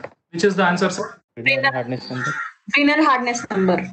Brinell hardness number. I'll check with the answer. Brinell Brinell is a hardness number. Right answer, sir. It is the right answer. Brinell hardness number. Yes, sir. It is correct, sir. During hardness test, the indenter is usually a ball indenter, all of the above, pyramid indenter, cone indenter. Which one is the answer, sir? All of the above. All of the above, sir. All of the above. Many are telling all of the above. I'll go with the same answer. It is the right answer. Brinell Question. The value of distance between successive indentation is always lesser than the distance of center of indentation from edge of the specimen. Which one is it is true or false, sir? The value of distance between successive indentation is always lesser than the distance of center of indentation from edge of specimen. True is the answer some participant is giving. Sir, true answer. with the true. It is a wrong answer, and it is answer is false. That means the value of distance between successive indentation need not to be less than the distance of center of indentation from the edge of the specimen. That is what is the meaning there. Okay, like uh, we have uh, gone through, and uh, four questions out of five was correct. Like assignment, quiz, video reference, everything is there. Now I'll go to the simulator for conducting a Brinell hardness test.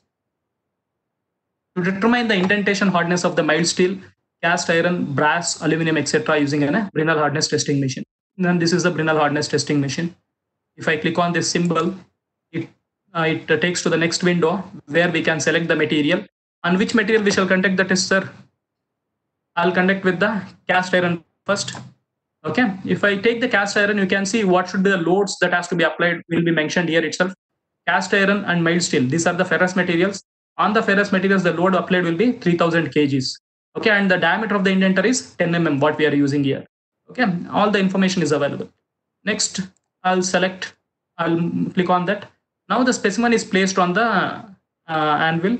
And if I click on this particular uh, arrow mark, what it is showing, see, you will see another uh, uh, figure here. Here you can see there is an arrow mark. You just move the cursor over that particular arrow mark such that the specimen will be will get into a contact with the um, indenter and minor load will be applied. See that is the specimen is in position. After doing that, you click on this symbol and you can see you have to uh, motor has to be switched on. Here it is showing the arrow mark. For uh, the sake of this is to switch on the motor. Once this is applied, it shows to the uh, load and unload position. Now it is we have to load load the specimen. Okay, and uh, the loading has to happen for about 10 to 15 seconds. The period of see every every detail is here. The motor is switched on. The hand lever is pulled into the load position. The load is applied for a period of 10 to 15 seconds. Now first I have switched on already. Now I have to load the specimen and see it has to be applied for 10 to 15 seconds. Now already more than 10 is done. It reaches by 15, you will find an arrow mark such that you unload it. Okay, now you applied the load for about 10 to 15 seconds. Next, you click on this symbol. You can see this is an uh, indent, indentation that is obtained on the specimen. Here, the specimen is there. On the specimen, you have made an indentation, and that indentation you are observing through an, a microscope. Okay, and now what you have to do, you have to measure the diameter of this indentation. You can clearly observe, right, the indentation. Here, see, you just move the cursor over this one such that it sets to the diameter of that particular thing and it measures. The measured diameter is how much? 6.4 mm. You can clearly observe that the measured diameter of this particular indentation is 6.4 mm. And later, once that is done, you click on the symbol such that you can see the final values will get here. The hardness number of the cast iron is um, 82.5. 82.5 is the hardness uh, value of the cast iron. Okay, and this is a measurement based. That means they have conducted conducted the experiment um, at a real time, and later that values are fed into this particular experiment. Okay, that is about uh, the first trial. Here you can clearly observe the diameter of the indenter. What is used is 10 mm. The load applies is uh, applied is uh, 3000 uh, kgs, and the diameter of the indentation. They have taken the indentation diameters in both the directions. We got uh, 6.5, 6.3, and average diameter is uh, 6.4 and d by d ratio is 0.64 and the hardness uh, hardness number is 82.5 like this, uh, it, it may not have an, a uh, physical uh, feel of doing the experiment, but 100% it will have an, a better understanding just uh, reading the uh, observation book or um, book before the examination. If they go through this particular steps before attending the examination, they will do lot better and they will have an, a better understanding. Now I'll move to the second trial. In the second trial, as usual, now I'll move very fast. Okay. You click on that uh, symbol, you just move the cursor over that particular point such that it fits the, the specimen will be positioned and a minor load will be applied. After that, you switch on the motor. Once you switch on the motor, you unload it. Uh, it will be in the unload position, you load it. If you load it, you have to load it for 10 to 15 seconds. Okay, now you click on and you adjust the microscope such that to measure the diameter. Sir? Sir. Sir, any problem, sir? Sir, is it audible? Any problem is there? No problem, sir. Okay. Clearly audible. Okay, sir. Thank you. Sir. Now, see again for the cast iron. Earlier you got something around 84 or something. Now you got 82.5. Mm, Like you got all the values. Like this is uh, how you are to conduct the Brinell test. Now I'll move to the next test. Like again, quiz is there. Shall we go through the quiz, sir? Or shall I move on to the next experiment? Yes, sir. yes. Quiz is okay? Yes, sir. Okay. Sure, sure. See, what is the minimum thickness of the specimen required? 8 times the depth of indentation, 20 times the depth of indentation, 5 times the depth of indentation, 50 times the depth of indentation. What is the minimum thickness of the specimen required for conducting a Brinell hardness test? Any answer, sir? Eight times depth of indentation. Oh, I'll check with the same answer, 8 times the depth of indentation. And the answer is correct, sir. Now we shall move to the next question. The indenter used in the test is usually a what type of indenter is used in the Brinell steel hardness test, sir? Hardened steel. Hardened That we steel have, ball. yes, it is correct. We have gone through the theory where it was mentioned clearly. The property of the material that resists the penetration or indentation by the means of abrasion and scratching is known as hardness. Hardness. Hardness. Yes, sir. Hardness. Yes, sir. That's the right answer. What is the diameter of the impression? Diameter of the impression. Options you can see. What is the right option, sir? Point two. Point twenty. 2D to 0.70. 0.7 D. That is small d. Okay. Right answer. Next, the time up to which the load has to be maintained in the experiment for mild 15 steel is seconds. 10 to 15 10 to 15 Ten to fifteen seconds. 10 seconds it is the right answer. Like this it it gives um, uh, very good experience when after reading the theory if we go through the quiz and if we answer all the questions it really motivates the student as well. Okay therefore uh, this really helps uh, actually what i feel. Now after that assignments are available as usual. We can ask the students to go through these assignments or to submit the assignments and there isn't a video no videos here but references are available for uh, still in-depth knowledge if it is required. They can go through these particular references. Like that is about the Brinell hardness test. Now i'll take up another um, uh, experiment and i'll uh, close it. I'll take tensile test on mild steel. I'm taking the experiments which are familiar so that uh, no much uh, doubts will be there while going through this particular thing. Like theory you can see complete theory you can go through. Okay? In in detail theory is available at a single place. About the experiment. Stages in ductile fracture is also available.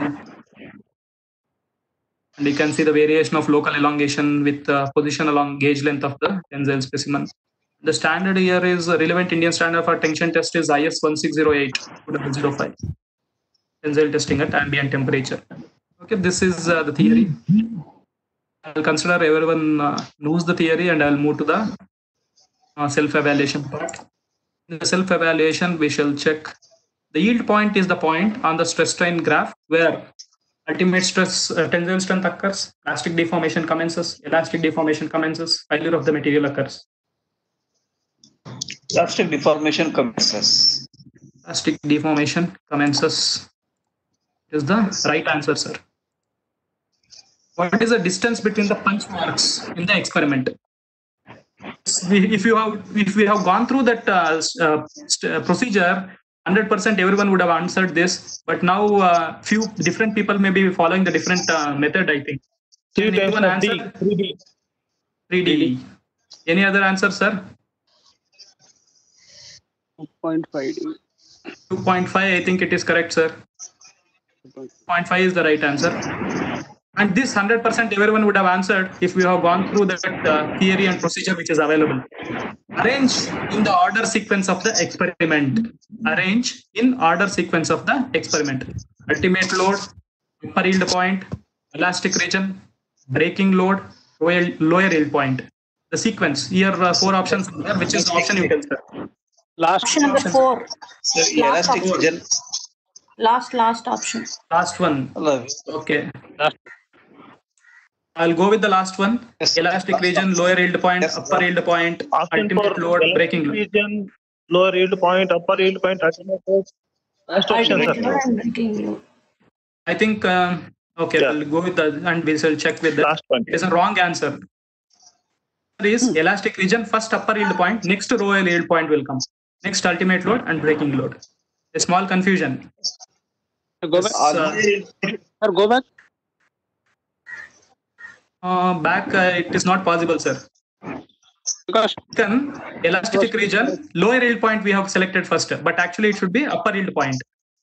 Okay. Upper yield point, next lower yield point, ah, ultimate load ah, and breaking load. Ah, Correct, correct. You said it, sir. Said Yes, it, said it. Yes, sir. Next question. आपके degree sir या फिर diploma ठीक है Uh, while conducting the experiment, the mode of fracture observed in uh, mild steel specimen is Cup and cone shape. Cone shape. cup and cone. Uh, which influence the material up to yield point. Hooke's law. Sla. Hooke's law. Sla, It is correct. Like four out of five we got. It's very nice uh, experience. Next, I'll go to the simulator. Uh, in the simulator, you can see this is the actual um, UTM, uh, the, the UTM uh, Ultimate uh, Universal Testing Machine. I'll click on the symbol. And uh, we have to measure the initial diameter of the specimen. For that, we are using a vernier caliper. And if I click on the vernier caliper, you see how it moves to the uh, position and it measures the diameter. First, it measures in the along x direction. Next, it measures along the y direction also. And finally, you'll get an average initial diameter d is equal to 12.7 mm. The initial diameter is 12.7 mm. Now, after measuring the initial diameter, we have what we have to measure. We have to measure the gauge length. That we shall uh, length of the specimen we shall measure. Okay. Yes. You click on that scale so that it reaches and it measures the length of specimen between the grips is 200 mm. Okay. After this step, we have to do the punch marks are made at a distance of 2.5 times of d. D was around the 12.4 or 5, I think. Okay, two, two times of 2.5 times of D, we have to uh, do the punch marks. You click on the hammer such that the first punch mark is made. Next, again, you click on the hammer, the second punch mark is made. Next, click on the hammer. Next, you click on the hammer. Like that, the punch marks are made throughout the length of that particular uh, uh, specimen. After that, we have to insert the specimen into the jaws of the UTM, upper jaw and lower jaw. Okay, you click on that, it see how it moves down, and the specimen which is made with the punch marks has to be dragged in, dragged into the position. Okay, once it is dragged into the position, it fits into that particular uh, jaws, and again you have to operate it such that it gets fixed into the UTM. Now, here we are using an extensometer to measure uh, the deformations uh, uh, up to the elastic limit or, uh, or proportionality limit. After that, we are not using any extensometer. Okay, now see, like I have to set the extensometer readings to zero value. See how the extensometer is positioned across this particular specimen. I'll make set it to zero, and the other extensometer also is set to the zero. Now I'll click on. Now, the, after everything is ready, what we have to do, we have to apply the load gradually. In tensile test, we apply the load gradually. Okay, and whereas in impact test, a sudden load is applied. Okay, we are applying the load gradually. As the load is applied, you can observe here, as the load is increasing, what is happening? Uh, we are finding an uh, extensometer reading. Usually the extensometer reading is uh, a real reading. Okay, uh, where uh, no machine uh, errors will be considered there. It is an actual reading what we get through the extensometer, but we will measure that extensometer reading up to the elastic limit or proportionality limit itself. Okay, like this. Now, what is happening? The load is increasing. As the load is increasing, the deformation is happening. The deformation is also noted. Load versus deformation. Okay, like see, it the load has reached up to 52.5 kilonewton. Okay, and uh, the deformation, maximum deformation, what we have got is uh, uh, 31, I think. Now I'll switch off the uh, UTM. Once if I switch off the UTM, you can see download data is there. As I said, the data what you are seeing, everything here, it is the actual data which was obtained when the experiment is conducted for the same specimen really. Okay, therefore, this all experiments what you are seeing is in a measurement based experiments. Now I'll go to the download data. If I download the data, you'll get an Excel file. You see the tension data is available.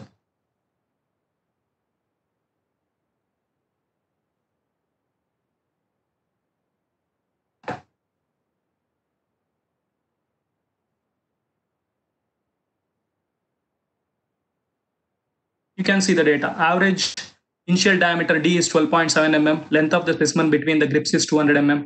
Load in kilonewton is there. Extensometer reading is there. Ivory scale reading is there. Like other data is available here. And this data can be utilized to find out the other uh, uh, properties of the material that has to be obtained. Like you have to find out the Young's modulus, ultimate tensile strength, yield strength, everything can be found out by using this data. Like it is almost like they are doing um, uh, really itself, almost because in the lab also many times they won't touch. At least here um, they are operating, they are fitting the specimen, everything they are doing. Okay, and everyone are actively participating. That is most important. Like this is the data that is available in the Excel form, and they can do the calculations on their way, on their own later part. Okay. Now once that is done, I'll move to the next step where you can see they have to plot in a load versus uh, uh, deformation. Okay, and uh, this is how the plot they will get. This is the stress, and this can be uh, transfer uh, converted to a stress strain curve. Okay, next, can see the view data. The same with this data only that graph is being plotted, and see this is the extensometer reading, load versus extensometer reading, and uh, you can see the slope of this particular. If I take the slope of this, you got the slope value as 2.21. Okay, this is the next step and uh, this slope is utilized to find out the Young's modulus. Next, the after conduction of the experiment, after the conduction of the experiment, uh, like uh, the next step, last uh, next step is you have to measure the final diameter and uh, final uh, gauge length. Okay, for that, what I have to do, you you are seeing the broken specimen. You just click on that, and you click on the vernier such that it measures the final diam- diameter at the point of fracture and the final diameter is there is some mistake here. Don't worry about that because uh, many uh, changes are uh, happening there. Okay and um, sometimes we may find some mistakes but here you can understand uh, the procedure is very important which is followed very correctly. But some values there will be some mistakes sometimes because the diameter initial diameter was around uh, 12.7 mm. Here it is showing final diameter as 83 83 mm. Don't uh, completely rely on this uh, particular data here uh, what we have to emphasize for the students is uh, they have to understand the procedure of uh, doing conducting the experiment rather than uh, uh, taking that values blindly. Okay? Now see measure the final length between the punch marks. Okay? For that you click on that to measure. What is the final length of the specimen? It is 31.95 mm it is showing. Okay? Like that you have you have found out uh, the final diameter as well as the final length after that you see like it is not giving the values directly. It is asking the student to calculate it. See load at tilt point by virginal cross sectional area. Formula also it is showing. You can conduct the, uh, the, the depending upon the data what they have got in the excel sheet they can find out uh, this yield stress tensile strength modulus of elasticity percentage elongation percentage reduction in area. Everything they can find out. For example now i'll take some random values. I'm not i have not calculated that okay load at yield point to the original cross sectional area i'll just take some value as 240 uh, newton per mm square for tensile strength i'll take it as 350 newton per mm square And uh, modulus elasticity, I'll take it as 200 gigapascal. And uh, percentage elongation, I'll take somewhat uh, 30. And uh, percentage reduction in area, I'll take uh, about uh, 40%. I'll check with this values. Actually, what we have to do, we have to calculate load at yield point divided by original cross section. We know the original cross diameter, original diameter we know. Once we know the diameter, we can find out the original cross section area. But I've taken random values now. We shall check the correctness of that. Okay, the actual value is 347. I have entered 240. Therefore, it is showing in a percentage of, error of 30.94. Like what you have conducted, uh, what you have calculated, and the actual values both will be compared, and a percentage error also it is showing here. Okay, like this, uh, this makes the student to actively involve in calculating the things also. Okay, that is about the tensile test. Like again, if you want, I'll take the question and question and answer session in that. Uh, like we have conducted, no quiz is there. We shall see what uh, is there in this particular quiz. All work done on the specimen is stored in the form of strain energy. Choose the correct answer. All work done on the specimen is stored in form of strain energy. Second statement is part of energy is wasted in the form of heat and sound. So, uh, which is the correct answer? First one is plastic stage, second one is elastic stage. Next option, first one is elastic stage, second one is semi-solid stage. Like all these options are there. Anyone, can you give the answer? Elastic stage and semi-solid. Elastic and Elastic stage elastic stage and and elastic stage. I think elastic stage and plastic stage will be the correct answer. I'll verify it. Yes, sir. It is the right answer because uh, when plastic deformation is happening, the energy is wasted in the form of heat and sound. And in the elastic region, all the energy will be stored and it will be uh, regained when applied load is removed. Okay, like resilience we know. In elastic region also resilience is there, whereas in uh, uh, plastic region also we find the resilience. Okay, sir. Next question. The tensile stress measured in of Pascal, Newton, watts. Newton. Tensile stress measured in Pascal. Pascal is the right answer. Pascal. Kilopascal. Following statement in relation to Young's modulus are correct with exception of the following statement in relation to Young's modulus are correct with exception of it is the measure of resistance to elastic deformation. It equal to constant E identified in Hooke's law. It is the measure of resistance to plastic deformation. It is the measure of modulus of stiffness. Equal to The measure of resistance to plastic deformation. The modulus, it is the measure of modulus of stiffness. I think um, modulus of stiffness. Sir, sir, third one, third one. Third one. Second one, sir. Equal to constant E identified. Third one is the right First one, answer. sir. Second one is right. Second, sir. Third one, third Go one. with the second, we shall see. But uh, I think it is first answer. It is the measure of Third one. resistance of plastic Third one. deformation. It is they have given except Oh, right, right. right. One is wrong. Uh, Third one is right. uh, sir. The following statement in relation to Young's modulus are correct with the exception of. Okay, right. Yes. Next question. Significant necking was found to occur in tensile test piece. Examine the areas indicated on stress strain curve and indicate where necking of the specimen has occurred. Significant necking was found to occur in a tensile test piece. Examine the areas indicated on stress strain curve and indicate where necking of the specimen has occurred. B to C. D to E, sir. D to E. D to E. When you are telling D to E, we shall see D that. to E. It's the correct answer. D to E. Correct Yeah. Which mechanical property of the material is indicated by the total area under the stress strain curve? Total area under the stress strain curve. Which mechanical property? Ultimate tensile.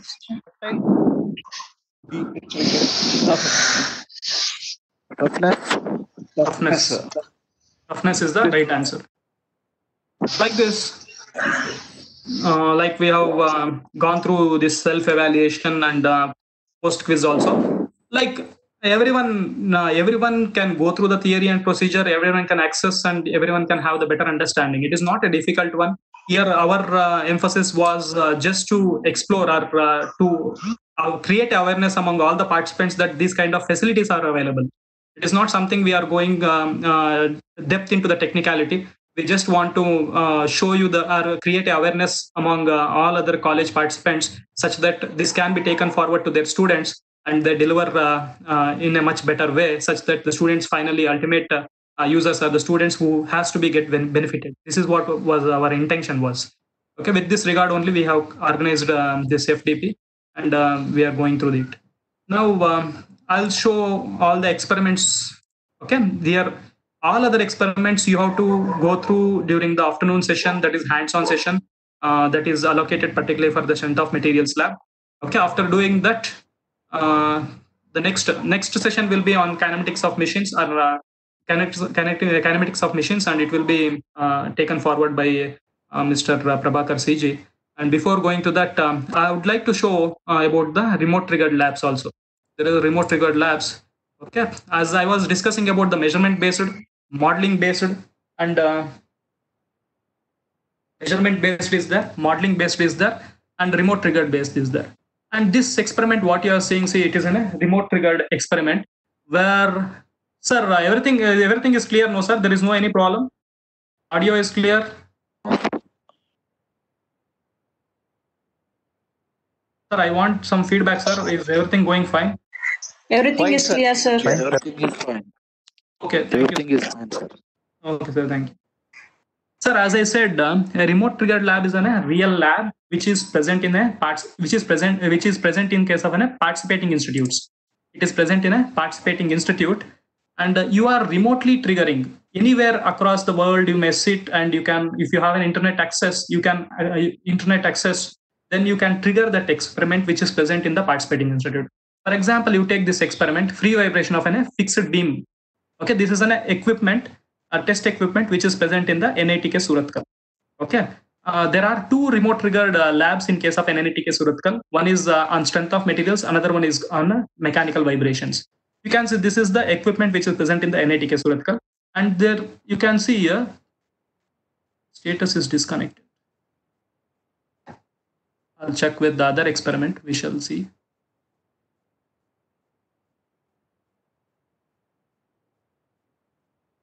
See, these are the vibration lab uh, experiments which are uh, present. These are the remote triggered experiments. I'll click on the free vibration of an cantilever beam. Okay. And here you see the remote trigger. That was simulation based earlier, what we have studied. Now it is remote trigger, you see. This is how, this is what the experiment which is present in the NITK. You can see the online mode. NITK network is there, external network is there. Now I'll go with the external network itself. I'll click on start. If I click on the start, you can see here the status connected and the connection time will be five minutes only. I will have an access to this particular equipment which is present in the NITK only for five minutes. Control time you can see here. Now it is already uh, four minutes, uh, 41 seconds time is there for me to access this one. After that, the next person can access who is in the queue. Now see here, there is a trigger button. If I click on the trigger button, what I am going to do, I am exciting this particular experiment which is present in the NITK. And you can see the live stream here. That means you are seeing the actual uh, uh, image of the or actual experiment which is present in the NITK. Okay, now I'll click on the trigger. See here, triggering experiment, triggering the experiment and retrieving the data. Please wait. Okay, see, as soon as you trigger the experiment, uh, you got an uh, amplitude versus the time graph. Okay, for that particular excitation, what you are given. Okay, like this, uh, you are actually accessing the equipment which is present in the participating institute remotely. That is what is called as remote triggered experiments. Therefore, it is closer to the reality. Remote triggered labs are more closer to the reality. Okay, uh, when it comes to all the labs, other two labs will be more scalable, but this one is more real. Okay, now uh, I'll show the simulation based also. Like you can explore many other things, and I think uh, there will be a separate session on the remote triggered labs also from uh, the professor Professor uh, Gangadharan sir. Okay, now I'll show you the simulation based. See, this is the simulation based. One is measurement based, like IZOD, Charpy, all these things we have done. Those are the measurement based. The next one, what I have shown, this one is an a remote triggered type of experiment. And now what I am showing is an a simulation based experiment. Here um, there is a mathematical models or, or formulas which are involved behind this particular uh, experiment. Okay, that means if depending upon the input values what you are giving, uh, it calculates the outputs based on the formulas which are fed into it, or the mathematical models which are fed into it. Okay, and accordingly you are getting the uh, values. Like you can see, you can uh, change the link lengths like R, you can change and accordingly the other uh, dimensions also changes. And finally, you'll get the velocity diagram in this particular fashion. Okay, like uh, I just wa- uh, was thinking about to show you the difference between the measurement based and uh, simulation based on remote triggered and hope so you have understood uh, the difference between the, the three types of uh, laboratories. What is uh, uh, measurement based or simulation based? Measure sorry measurement based modeling or simulation based and remote triggered like hope you have understood all these three types of laboratories. And if everything is fine i'll i'll stop the session. And if you have any doubts related to the virtual laboratory you can ask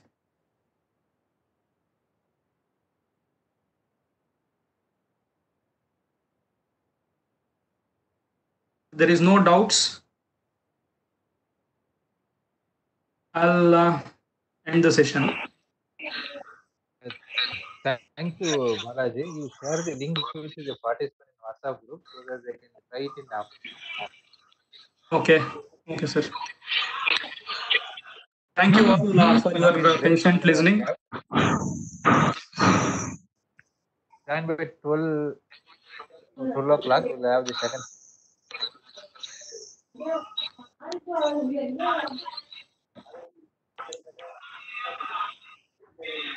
Then Next session details are shared in the WhatsApp group. And login by 12. I request all the participants to join the next session uh, at 12 o'clock, and the link will be shared uh, through the WhatsApp group. If anyone has not joined, kindly join the WhatsApp group, which is uh, uh, the link is shared among you people through the mm, mail. Sir, please share the WhatsApp link, sir. Sir, it is already shared. Uh, shared. Uh, it is sent to your mail, sir. Please check your mail. It is there uh, in your mail itself. Okay, yeah, sir. thank you. Thank you all. Okay. Thank you. Yeah. ಇದು Yogi sir Yogi sir sir sir ಅದು ಇವಾಗ end ಮಾಡ್ಬಿಡ್ತೀರಾ? Meeting ಇದ್ರಲ್ಲೇ continue ಆಗುತ್ತಾ sir ಅಲ್ಲ end Kapilan sir ಅವರು exit ಆದ್ರು ಅನ್ಸುತ್ತೆ.